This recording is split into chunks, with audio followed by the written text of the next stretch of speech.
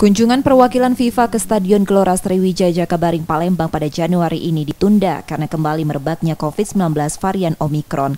Panitia Daerah Pelaksana Piala Dunia U20 Palembang menerangkan sudah berkomunikasi dengan PSSI terkait dengan penundaan tersebut. Jadwal kunjungan FIFA ke Palembang baru akan diumumkan pada Februari mendatang. Sampai saat ini untuk perawatan berkelanjutan di Stadion GSC tetap dilakukan.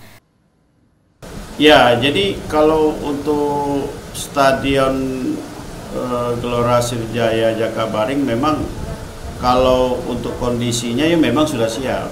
Cuman kan uh, memang uh, kami ya kemarin Pak Uco Hidayat selaku Ketua Asprov PSSI Sumsel telah mengirimkan surat kepada Pak Gubernur ada beberapa hal yang perlu menjadi perhatian update dari fasilitas, beberapa fasilitas yang ada di Stadion Gelora Sriwijaya Jakabaring.